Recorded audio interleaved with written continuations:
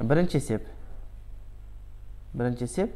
Алюминий бромидін алу үшін массасы екі де жеті грамм алюминий мен бромды әрекеттестіріп түзілген тұздың массасын есептеңіз бірінші амал алюминийдің массасын таба аламыз. Зат, зат мөлшерін таба аламыз. Яғни масса алюминийді бөлеміз малярлық масса алюминийге. Ол үшін екі де жетіні бөлеміз жиырма жетіге жиырма жеті грамм мольға тең нөл бүтін оннан бір моль болады. Зат мөлшері нөл бүтін бір моль екен. Енді екінші амал. Екінші амал. Реакция теңдеуді өтеміз алюминийге қосамыз. Бромды.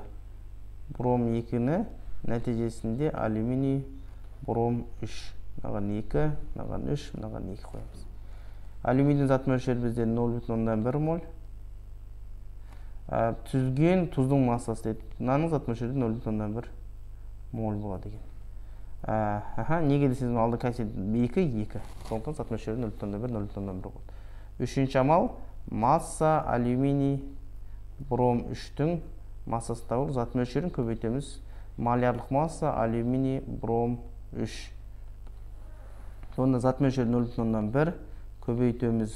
Жүз алпыс жүз алпыс екі жүз қырық жиырма жеті екі жүз алпыс жеті. Екі жүз алпыс жеті грамм моль екен. Мынаның малярлық масса сексен үшке көбейтесіз екі жүз қырық екі жүз қырыққа жиырма жетіні қоссаңыз екі жүз алпыс. Сонда бізде жиырма алты да жеті грамм болады екен. Жауабы бізде дұрыс екен.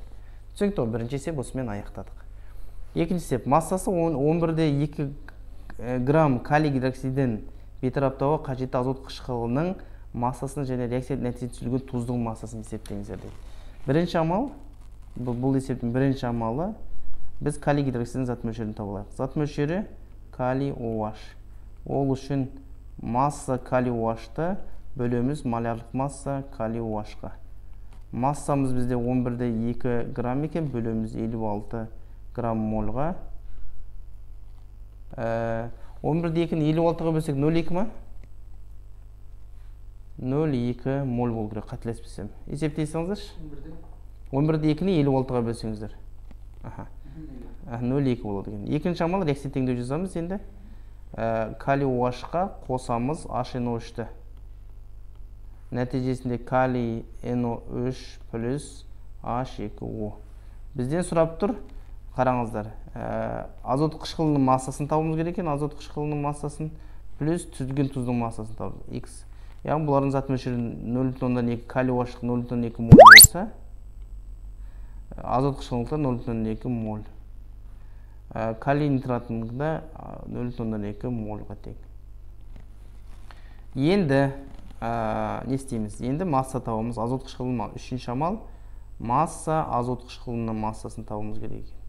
Ол үшін зат мөлшерін көбейтеміз малярлық масса HNO үшке сонда массасы бізде зат мөлшері нөл бүтін оннан екі көбейтеміз алпыс үшке сол кезде он екіде алты грамм болды. Аха. төртінші бізде масса тұзды табамыз. Тұз бізде калий нитраты калий нитратының зат мөлшерін көбейтеміз. Малярлық масса калий но үшке. Алпыс екі жүз бір. Жүз бір нөл екіні көбейтеміз жүз бірге. Тең болады екі жиырмада екі грамм болады. Яғни калий нитратының массасы. Сонда бізде жауабымыз бұл жерде дұрыс болды. Түсінікті ғой. Керемет. Келесі. Ә, массасы 18-де 5 грамм кальций гидроксидін толық бейтараптау үшін қажет 25 пайыздық азот қышқылының ерітіндісінің массасы және түзілген тұздың массасын есептеңіз бірінші амал ең бірінші амал ә, кальций гидроксидінің зат мөлшерін табамыз. Яғни зат мөлшері кальций OH екі еселенген. Яғни оны біз масса кальций OH екі еселенген бөлеміз. Малярлық масса кальций OH екі еселенген он сегізде бесті. Бөлеміз кальций қырық жетпіс төртке бөле салыңыздаршы он сегізде бесте жетпіс төртке отыз төрт жетпіс төрт иә жетпіс төрт грамм моль екінші амал. Реакция теңдеу қанша болды? Он сегізде бесте жетпіс төртке бөлсек. Қырық отыз төрт жетпіс төрт енді реакция теңдеу жазамыз нөл жиырма төрт сексен үш моль екен одан кейін бірінші зат мөлшерін таба алдық екінші уже реакция теңдеу жазамыз кальций oh екі еселенген қосамыз азот қышқылын HNO үшті нәтижесінде кальций NO үш екі еселенген плюс H2O соның алдына екі қоямыз енді кальций гидроксидінің зат мөлшерін білеміз нөл бүтін жиырма төрт сексен үш моль екен азот қышқылын екі мынаға бірге бөліп екіге көбейтеміз. Екі есе көп. Сол кезде бізде нөл төрт нөл қанша болады? Нөл жиырма төртте сексен үшті екіге көбейте салыңызшы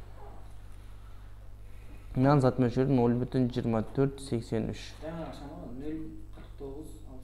Нөл қырық тоғыз алпыс алты моль екен.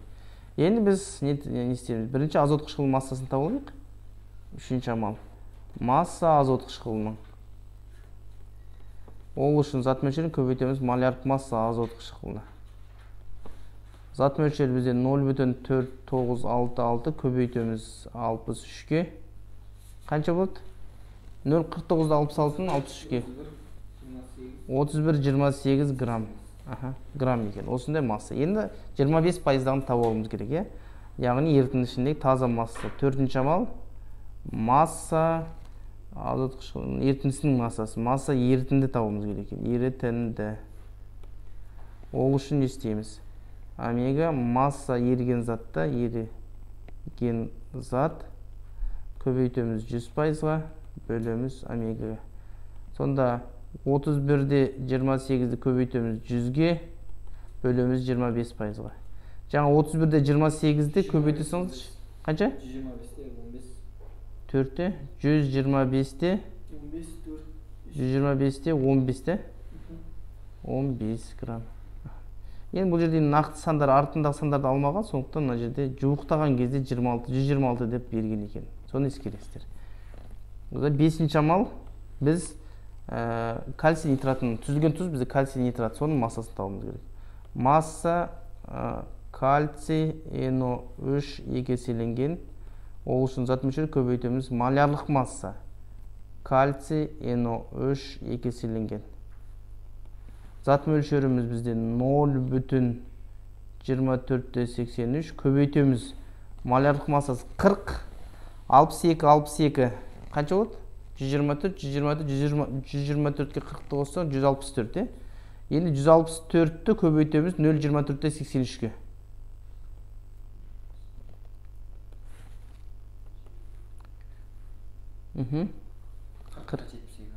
Қырықта жетпіс екі грамм екен. Жуықтасақ ол қырық бір грамм болады. Сонда біздің жауабымыз мына жерде дұрыс болып шықты. Түсінікті болды ғой?